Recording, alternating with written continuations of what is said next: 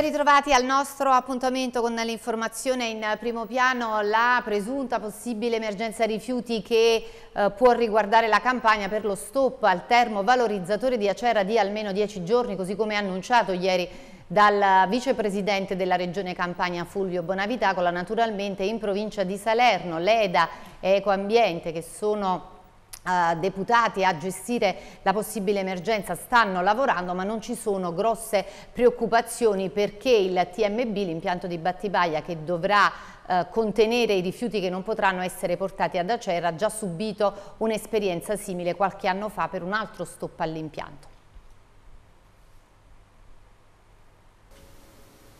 Attraverso studi e relazioni tecniche c'è una febbrile attività di lavoro all'interno di Ecoambiente, il braccio operativo della provincia di Salerno per la gestione dei rifiuti e degli impianti che affianca il lavoro dell'ente d'ambito per prepararsi al meglio alla possibile emergenza rifiuti legata in Campania allo stop annunciato per almeno 10 giorni al termovalorizzatore di Acerra. Sia il presidente di Ecoambiente Nicola Ciancio che il vertice di Eda Salerno Giovanni Coscia non mostrano preoccupazioni perché forti dell'esperienza affrontata già due anni fa quando l'impianto di Acerra fu sottoposto ad un intervento di manutenzione.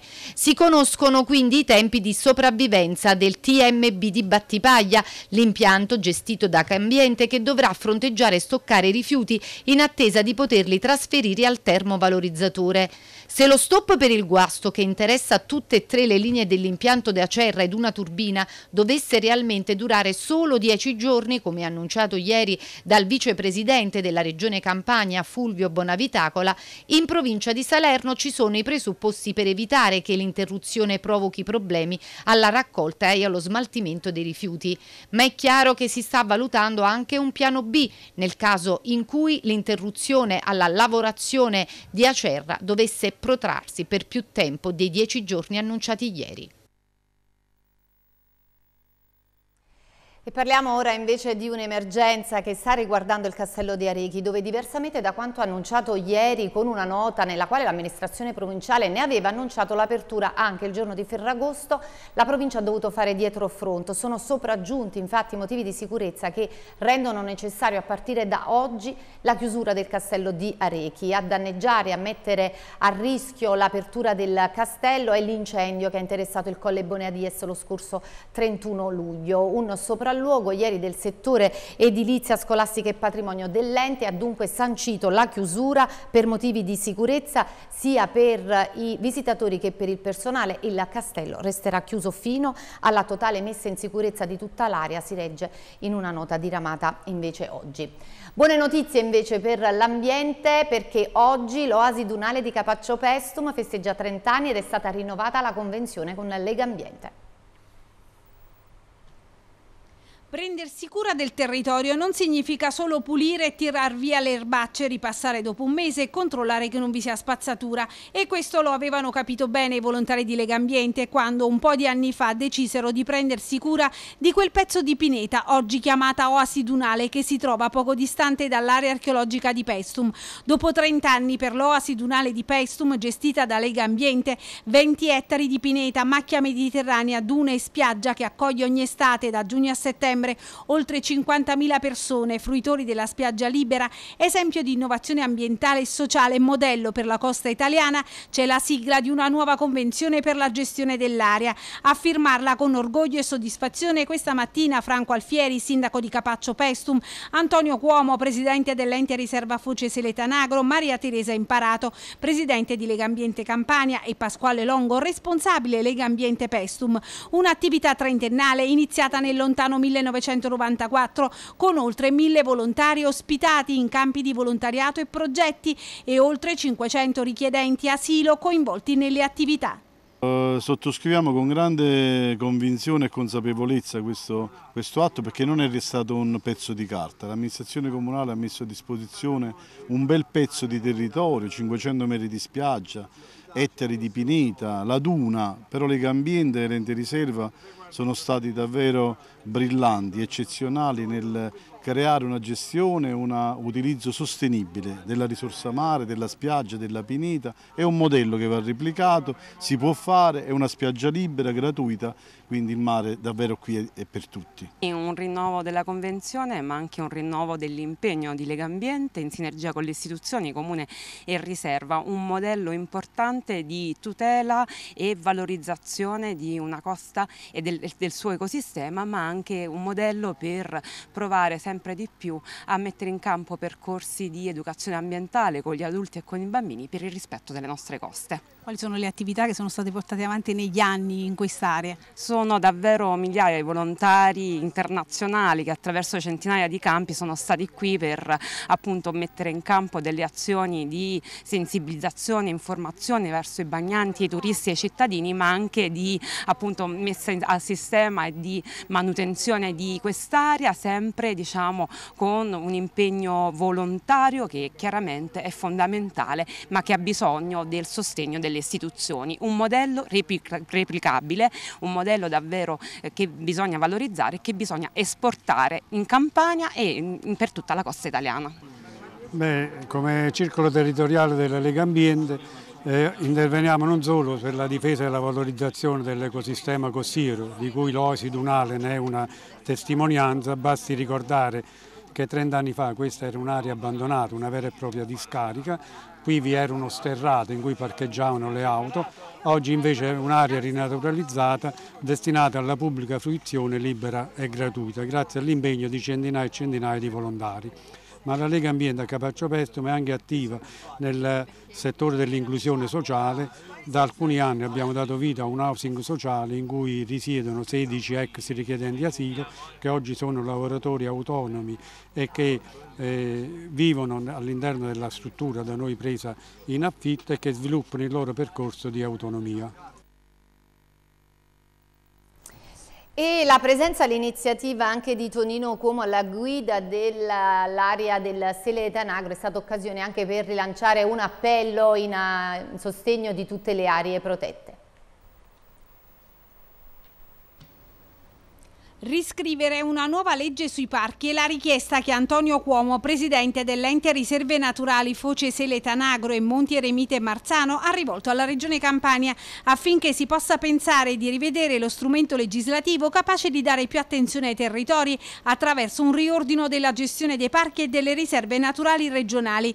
Lo ha detto questa mattina a Pestum partecipando all'appuntamento fissato per la firma del rinnovo della Convenzione per la gestione dell'area protetta di Lega Ambiente dell'Oasi Dunale per continuare l'azione di tutela e di innovazione ambientale, sociale e culturale del territorio. Oggi i parchi regionali vivono situazioni di difficoltà che andrebbero meglio disciplinati. Eh, noi siamo probabilmente in un posto straordinario, credo che in Campania questo rappresenti il sito più importante del, dell'ambiente, della protezione dell'ambiente, dello sviluppo sostenibile dell'ambiente. Io do il mio apprezzamento alla, soprattutto a Lega Ambiente che ha dimostrato eh, di avere grande attenzione e di aver capito prima degli altri l'importanza della tutela dell'ambiente nel nostro Paese. Spero che gli anni futuri possano dare risposte ancora più concrete rispetto a quello che stiamo facendo in questi anni. Io per parte mia, insieme agli altri presidenti dei parchi regionali, stiamo lavorando, abbiamo parlato con, il vicepresidente Fulvio Bonavitacola per mettere in agenda subito alla ripresa dei lavori dopo la fase estiva per una nuova legge, per riscrivere la nuova legge sul, sui parchi, perché noi abbiamo una legge del 93 molto fuori moda, obsoleta, cioè dove effettivamente c'è poco, fu scritta in un momento storico anche particolare, venivamo dal periodo di Tangentopoli negli anni 90, quindi secondo me è necessario, è necessario proprio perché se dovessimo chiedere oggi ai nostri concittadini quali sono le preoccupazioni per il futuro della propria vita, della vita dei propri figli, sicuramente metterebbero l'ambiente in prima posizione insieme alla sanità, insieme al lavoro, quindi stiamo parlando di un settore di grandissima priorità. Rivedere i parchi significa rivedere l'attenzione per l'ambiente e la tutela soprattutto del territorio anche sulla scorta degli ultimi cambiamenti che sono avuti anche climatici. Sicuramente, eh, questo è il, il, fatto principale a mio giudizio è dare una forte organizzazione per mettere in condizioni anche le associazioni ambientaliste di poter operare meglio. Oggi i parchi vivono ancora in una situazione, i parchi regionali intendo, rispetto a quelli nazionali. Noi abbiamo il Parco del Cilento che ha già una eh, un'organizzazione diversa, più finanziamenti, può creare condizioni eh, di riqualificazione del proprio territorio. I parchi regionali, come ho detto prima, vive, vive, vivono un momento di difficoltà ed è questo l'impegno nostro, quello di stimolare le istituzioni, in modo particolare la Regione, a far sì che noi con l'anno nuovo possiamo avere un nuovo strumento legislativo capace di dare più attenzione a tutti. Eh, il cambiamento climatico non è un problema nostro, è un problema del, de, dell'intera eh, dell'intero emisfero del, de, della Terra, quindi secondo me ognuno per la propria parte deve impegnarsi al massimo, noi lo faremo.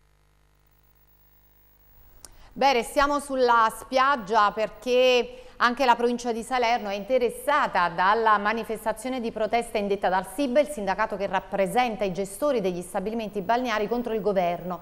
Si chiedono azioni di salvaguardia della balneazione attrezzata e lo si farà domani tenendo chiusi gli ombrelloni fino alle 9.30.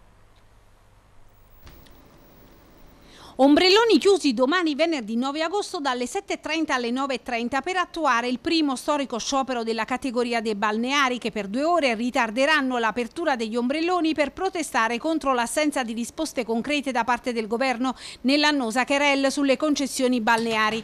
L'iniziativa simbolica promossa dal sindacato italiano balneari sarà seguita anche nel Salernitano dove il presidente del SIB Alfonso Amoroso ha annunciato che aderirà allo sciopero e porterà i gestori gestori degli stabilimenti balneari del territorio ad aprire alle 10.30. Per le aziende che non hanno gli ombrelloni, matende o altre forme di ombreggio, il ritardo riguarderà l'allestimento delle attrezzature in spiaggia.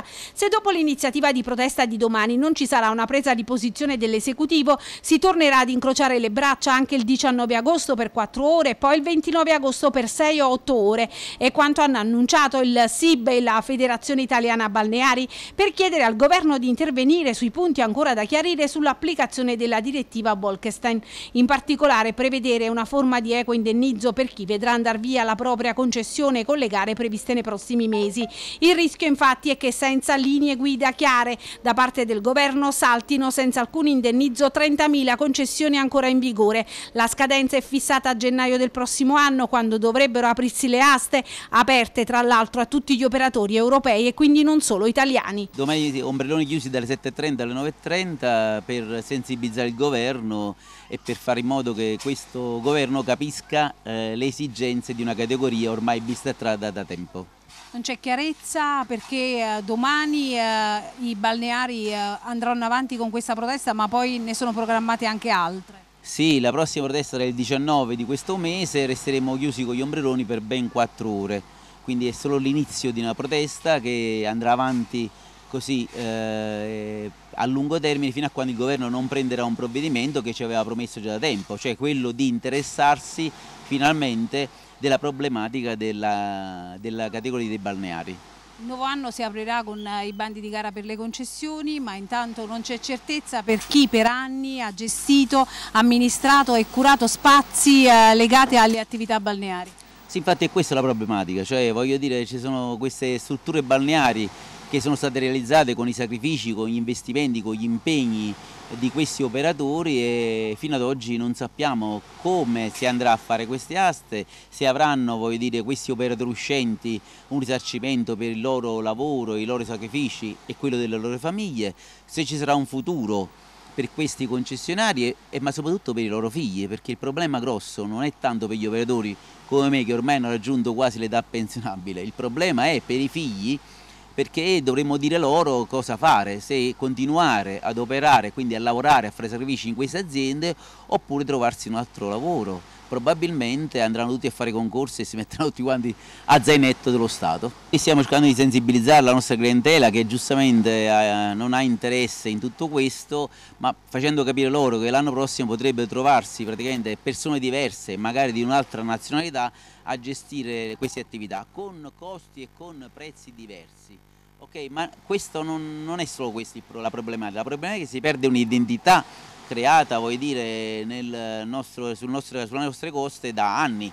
Voi pensate che non sapendo come questo è qui dal 68, ma lo era già prima al porto di Salerno, Lido Azzurro, il Pampilo, l'Arenella, il Lido Margherita, erano tutti lidi che stavano, hanno cominciato nel dopoguerra, quindi stiamo parlando degli anni 40-50, giù al porto di Salerno poi c'è stato l'ampliamento del porto, sono trasferiti qua a Ponte Cagnano, ma sono generazioni e generazioni che portano avanti queste attività.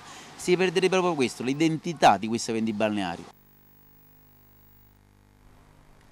Parliamo adesso ancora di turismo sotto un altro fronte, l'ABAC, l'associazione che rappresenta i B&B e le case affitto, chiede alla Polizia Municipale di Salerno che ieri ha scovato una struttura abusiva di continuare su questa eh, strada e suggerisce anche una serie di aiuti come la piattaforma online gestita proprio dall'associazione.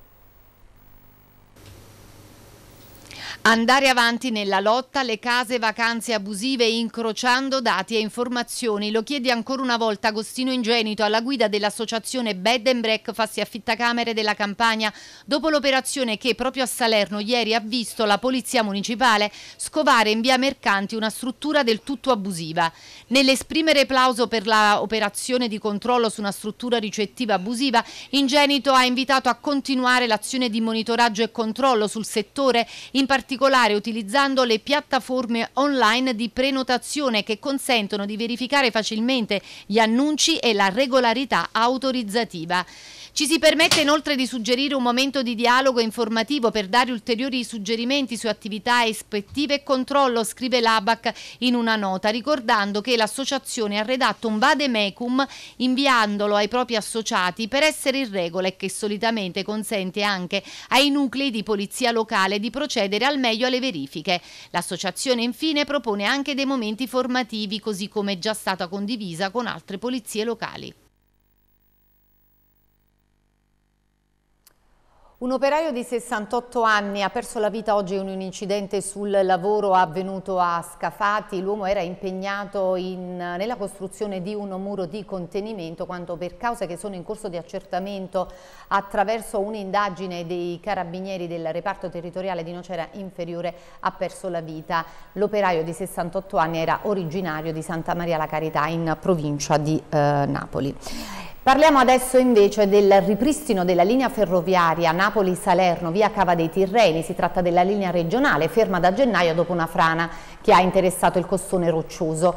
Finalmente c'è una svolta, prendono il via i lavori entro 100 giorni, i collegamenti saranno ripristinati e c'è stato un botta e risposta anche attraverso i social tra il sottosegretario alle infrastrutture Tullio Ferrante che si intesta alla soluzione del problema ed il presidente della Commissione Trasporti della Regione Campania Luca Cascone che ironicamente lo ringrazia.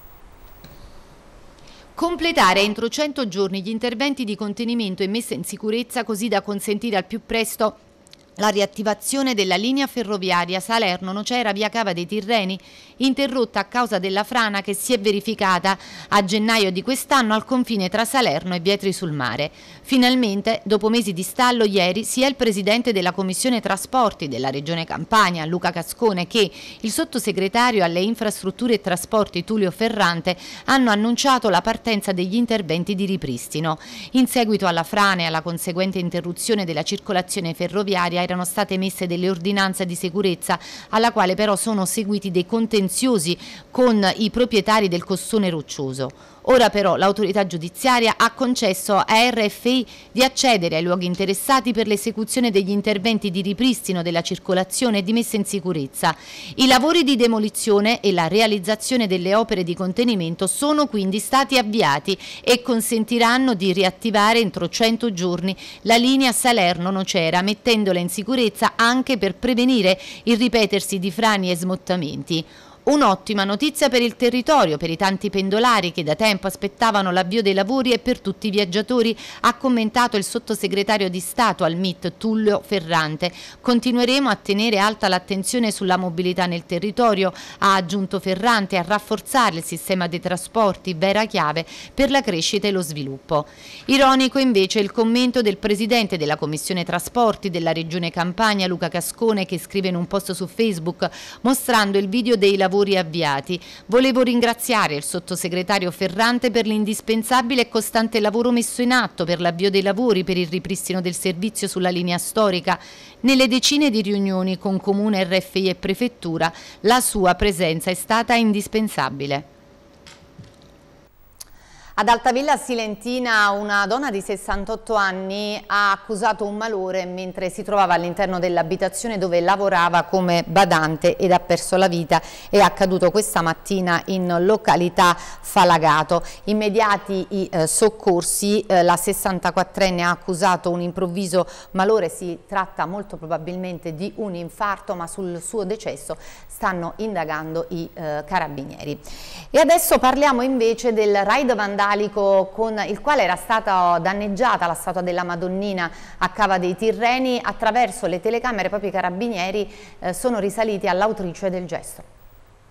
Lo scorso sabato un atto vandalico si era verificato in via Sabato Celano ai Pianesi, quando la statua della Vergine Maria, custodita in un'edicola votiva nella zona, era stata distrutta. Dopo l'amarezza diffusasi tra i fedeli e i residenti e le indagini svolte dalla tenenza locale, si è giunti a nuovi sviluppi. I filmati delle telecamere di sorveglianza sono stati analizzati dai carabinieri per risalire così all'autrice della distruzione della statua. Si tratterebbe di una donna di circa 60 anni non estranea a simili gesti già compiuti in precedenza. Nel 2022, infatti, sarebbe stata raggiunta da una lettera di diffida richiesta da numerosi residenti tramite l'avvocato e consigliere comunale Federico De Filippis. In quell'anno, infatti, la signora aveva svolto dei lavori che avevano modificato lo stato dell'edicola votiva, alzando una recinzione e cambiando il lucchetto apposto a chiusura della vetrata dell'edicola, e aveva trattenuto le chiavi solo per sé. Il timore dei residenti riguardava la possibilità di vedere rimossa l'edicola votiva, ma l'intervento del consigliere comunale De Filippis ha messo in luce l'iter amministrativo necessario che vede l'obbligo di un'autorizzazione da parte del comune anche per lavori di ristrutturazione. Ciò nonostante la donna ha compiuto nuovamente l'atto sacrilegio spinta dall'insofferenza verso l'altarino presente sulla facciata di sua proprietà che non ha intenzione di ospitare ma che non può essere rimosso o modificato senza il rilascio di un'autorizzazione da parte degli uffici competenti. Intanto, dopo la presentazione della denuncia presso la locale tenenza, gli abitanti del luogo hanno istituito il Comitato cittadino dei Pianesi per la tutela dell'edicola votiva, al fine di occuparsi della tutela dell'icona, del suo ripristino e anche con l'obiettivo di raccogliere maggiori informazioni in merito al passato dell'altare. Il tentativo dei residenti in precedenza era stato quello di far rientrare l'edicola votiva tra i beni di interesse storico-culturale culturali,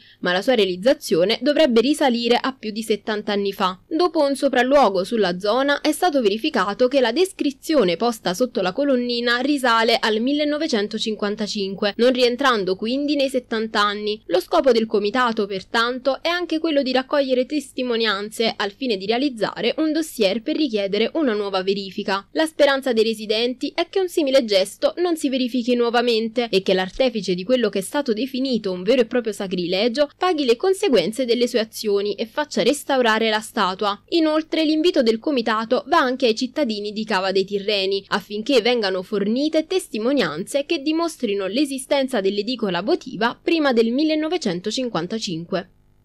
Approda in Giappone la storia di Angelo Vassallo, il docufilm dedicato al sindaco pescatore, è stato infatti selezionato dall'Osaka Film Festival, un'occasione per non abbassare la guardia sull'omicidio del sindaco di eh, Pollica, come ha ricordato il presidente della fondazione a lui dedicata, il fratello Dario.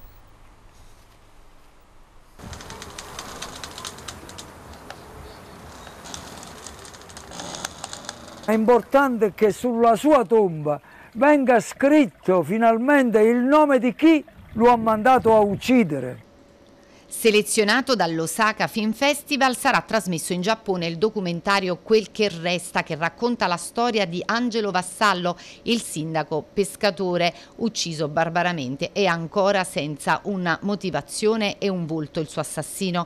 Realizzato in collaborazione con Luca Pagliari, questo docufilm rappresenta un omaggio al sindaco pescatore e un riepilogo anche delle attività svolte dalla fondazione a lui dedicata. La speranza è che questa proiezione possa rappresentare un passo importante verso la completa verità su chi ha tolto la vita a Angelo e sui veri responsabili di questa tragedia, ha dichiarato Dario Vassallo, fratello di Angelo e presidente della fondazione Angelo Vassallo, sindaco pescatore. La memoria di Angelo vive attraverso questo film e attraverso il nostro continuo impegno per la giustizia e la verità, ha concluso eh, Dario Vassallo. Il film racconta le grandi iniziative che hanno mosso l'operato e le attività di Angelo Vassallo, che fu definito un profeta dalla stampa internazionale, un visionario che ha lanciato la rivolta dei piccoli pescatori, rilanciato la filiera dell'oliva, resuscitato il porticciolo del, del villaggio di Acciaroli. Fu lui a istituire un museo vivo del mare. Nel 2010 firmò un'ordinanza che introduceva multe per chi gettava mozziconi di sigarette a terra, dimostrando un impegno per l'ambiente e la legalità, che ha portato Pollica a essere premiata da Lega Ambiente e dal Touring Club. Vassallo, sindaco per tre mandati e presidente della comunità del parco, si è fatto promotore dell'inclusione della dieta mediterranea tra i patrimoni orali e immateriali dell'umanità. Siamo fiduciosi che l'eco di questa storia, aggiunto Dario Vassallo, possa raggiungere e sensibilizzare sempre più persone in tutto il mondo.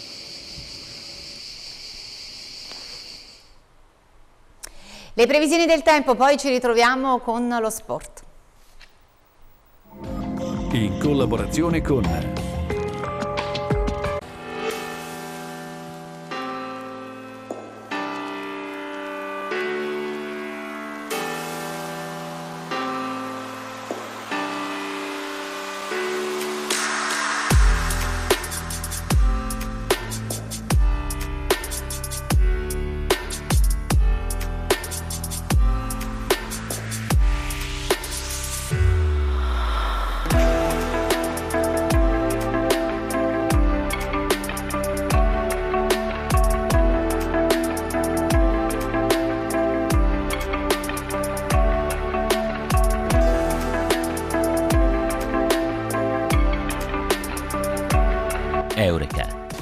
tua estate.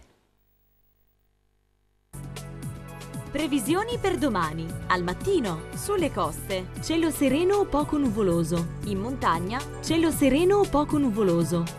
Nel pomeriggio, sulle coste, schiarite ma con velature. In montagna, schiarite ma con locali temporali.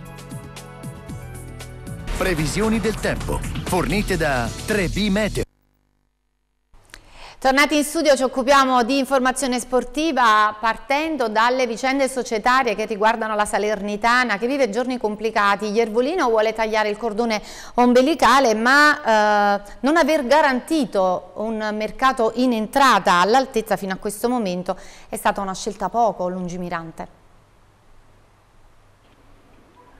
La Salernitana è in vendita ed il suo proprietario è proiettato in un tempo futuro in cui non potrà e non dovrà più essere accostato al club Granata. Non gli piace più il calcio, non accetta le critiche perché parte dal presupposto che ha speso dei soldi, cosa verissima, e per questo dovrebbe essere sempre e solo ringraziato e magari un po' compatito e consolato per averli buttati. Per colpa di chi, si chiederebbe Zucchero Fornaciari, sicuramente gli errori non sono tutti e solo di Ervolino, ma molta parte sì. Il mercato non è mai stato un territorio nel quale i direttori sportivi di turno si siano mossi senza dar conto dettagliatamente al patrono in ogni scelta, anche quella di passare la mano davanti ad occasioni ghiotte come Dobic non è stata certo presa senza la partecipazione di Ervolino. È anche normale che sia così, visto che era ed è lui a pagare, a tirar fuori i quattrini, però se la competenza e il semplice intuito non ti assistono nella circostanza, alla fine non puoi prendertela con nessuno, meno che mai con l'ambiente, con i tifosi, con la stampa, ossia coloro i quali l'hanno accolto da messia, permettendogli di finire sulla ribalta nazionale non per i suoi precedenti successi imprenditoriali, bensì perché presidente e quindi in qualche modo capo di una sterminata tribù calcistica di fede granata, così ostinata e forte nel suo sentimento, da aver seguito ovunque anche la sgangherata seppur orgogliosa squadra del Trust, che ne prendeva 3, 4, anche 5, ed usciva dal campo tra gli applausi, tanto che ad un certo punto fu tutta l'Italia calcistica ad applaudire la tifoseria granata e a prendere a cuore la sua storia tormentata. Del resto c'è tormento solo se c'è passione e in quanto ad amore e passione, Ierbrino sa bene che i tifosi di granata possano distribuirne a Iosa, essendo il loro portafoglio sentimentale gonfio fino a scoppiare. Ora però il giocattolo non piace più, ma chi l'ha rotto non è senza nome e senza volto. Ora c'è voglia solo di vendere e di voltare pagina. Sull'uscio c'è Gabbetti, ma anche e soprattutto ipotesi di cessione a questo o quell'imprenditore. Il futuro lontano dalla è la dimensione più rassicurante e confortevole per Iervolino, ma il presente da valle di lacrime, fatto di conti della serva e il bilancino del farmacista, resta un'umiliazione che una città come Salerno non meritava. Per colpa di chi? Più che zucchero, questo ritornello è pieno di fiele per i tifosi Granata. Ed andiamo ora a vedere il mercato che in uscita è bollente, lo Tito allerta di A, Bradaric piace in Spagna, il direttore sportivo Petrachi prova a piazzare tutti i calciatori ma al momento in entrata non può andare su obiettivi di un certo spessore. La Lazio ripensa a Dia ma non vuole fare follie, la Salernitana sa che stavolta dovrà accontentare il senegalese ed evitare il braccio di ferro e quindi attende che maturino le condizioni giuste per tutti. Prestito con obbligo è la via abbastanza segnata e magari alla fine dal Lazio arriverà anche una contropartita. Per Bradec si è mosso il Cagliari, ma c'è pure il Deportivo La Corugna, storico club galiziano che vuole ritrovare le categorie di un tempo. Koulibaly vorrebbe andare a Lecce e riflette sull'opzione Sassuolo, mentre Maggiore aspetta il via libera per andare via. Insomma c'è una squadra intera con la valigia, senza dimenticare che dalle cessioni già ratificate, la Seretana ha ricavato un discreto bottino cui sommare il paracadute e il risparmio sul taglio netto del Monte Ingaggi. Petrachi sta facendo un lavoro notevole, magari non gli dispiacerebbe poter anche firmare qualche colpo in entrata. La proprietà però non gli concede margini di manovra sufficienti e commisurati anche al suo valore e alla sua consolidata fama di operatore di mercato abile e lungimirante. Lunedì si va in campo per la Coppa Italia e Martuscello non ha certo abbondanza di scelte. In altre piazze si fa festa per gli acquisti, a Salerno invece si è arrivati al punto di rallegrarsi per le cessioni, nella speranza, finora disattesa, che almeno ciò serva a far poi arrivare calciatori di categoria in grado di misurarsi in con le altre squadre. C'è ancora un bel po' di tempo prima che il mercato si chiuda, sarebbe bello che Petrachi potesse lavorare con più serenità e margine anche per le entrate. È tutto, termina qui il nostro appuntamento con l'informazione, grazie per averci seguito, arrivederci.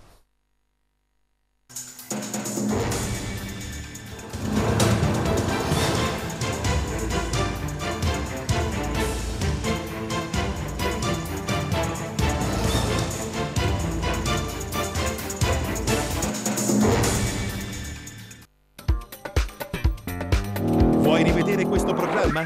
Visita il nostro sito tvoggisalerno.it e clicca su TV Oggi On Demand.